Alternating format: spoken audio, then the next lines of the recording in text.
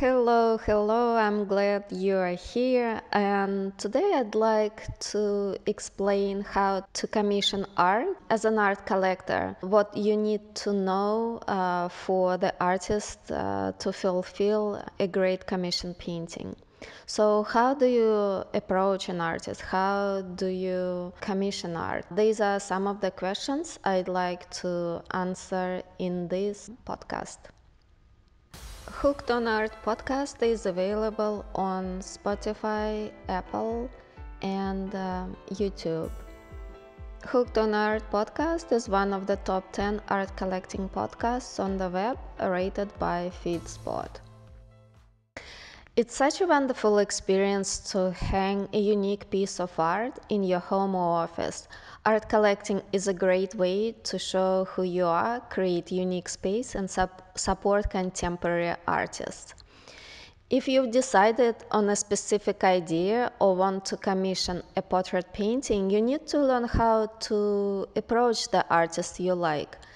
So, what's the right way of communicating your idea and understanding what the artist needs to produce a custom art piece? I'd like to discuss what the artist needs from you in order to fulfill your commission. I'm going to assume that you pick your favorite artist and you know what he or she paints well. You don't want to ask for an abstract painting done by a figurative artist you also know that the artist accepts commissions because many don't. And finally, you love the artist's style so much so that you are confident you want to have a custom art piece done by this artist. Number one, have a photo shoot with the artist. Most realist artists paint portraits from their references. In addition to that, some classically trained artists like to make at least one portrait study from life. This means that you must be available for a photo shoot as well as for a two hour direct sketching by the artist. A lot of artists try to work with the reference provided by the client, but a big disadvantage to this uh, is that most references are of poor quality or they are not creative for the artist to work from. It makes a very big difference if the artist creates art based on the image or if he just copies the image. Personally, I've seen a number of reference shots with poor quality, you know, poor lighting, busy backgrounds, and blurry facial features. What's worse, these pictures often capture the unflattering angle of a sitter. Most references are phone snapshots with distorted perspective and facial features. Expecting the artist to create a masterpiece from such a reference is too much to ask for. You might think and say that the artist can change this or that, but it doesn't quite work this way because artists basically copy what they see in the reference picture, making some adjustments. When the artist takes the picture, he already creates art, paying attention to the angle, light, color, and so on. So, what you need is to be available for a photo shoot with the artist. Um, so, you might ask, what if it's a reference of your girlfriend or a family member and you have no way of arranging a photo shoot? Pick the best photos possible with directional light, simple background, and flattering natural pose. Pictures must be of uh, the highest resolution possible. Number two, give wall measurements and photos of the interior space. If you want to commission a site specific artwork, you need to send pictures of the space to the artist and give measurements of the entire wall space and the size of art you'd like to have on your wall. Artists need to see the space to understand the surroundings because the artist can put some interior elements into commissioned art piece or advise you on a different size, format and color scheme. Canvas format can be landscape, portrait, or circular in most cases. It could also be a diptych, triptych, or a very narrow long canvas. Oftentimes, the art size is odd, and the artist must either make a special order or stretch the canvas himself. It's great if the canvas size is standard and uh, fits the space perfectly because getting the art supplies and, and framing it is a lot easier. Uh, standard sizes are 16 by 20, 18 by 24, 24 by 36, 36 by 48 inches, and so on. Please note that not every artist knows how to stretch canvases of odd sizes, and it involves a lot of work to do it well. Number three, explain what you would like to see in the painting.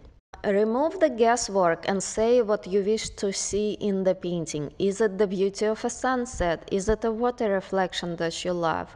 Is it a specific type of a house that you want to see in the painting? Give your ideas along with the references if you wish to commission a landscape, cityscape, or a portrait. Number four, explain what colors you'd like to see in a commissioned piece. Communicate what colors are important to you and tell the artist what you actually like in his or her work. The artist will emphasize your favorite elements and colors in the commissioned piece. Number five, understand basic price range of the artist. Understand basic price range of the artist by looking at his website or asking the artist in a message on Instagram or emailing the artist. Pricing varies with experience, years in business, studio costs, materials, fame, museum, or other notable shows, uh, collections and awards, size and complexity of artwork. Painting figures is the hardest, but creating a very delicate architectural piece could be as hard. Painting clouds would take much less time. In the past, artists charged clients based on a number of figures present in the painting. Today we have such a great variety of art and styles that artists have a wide range of subject, theme, and prices as a result. If you are interested in a commissioned piece by a well-known artist, galleries may handle the commissioned art process. Auctions uh, could have a record of a price range of a famous artist. Don't expect to get a great deal by asking for a reduced fee. Usually, artists charge a bit more to fulfill a specific commission. Also, there is at least a 50% deposit for any artist to begin painting. So, think ahead and research the price range first. Number six, explain what you love about artist's work. Don't be afraid to say what you want to have in a commissioned artwork and what you love about the artist's work. Artists do try to accomplish and fulfill all the requests.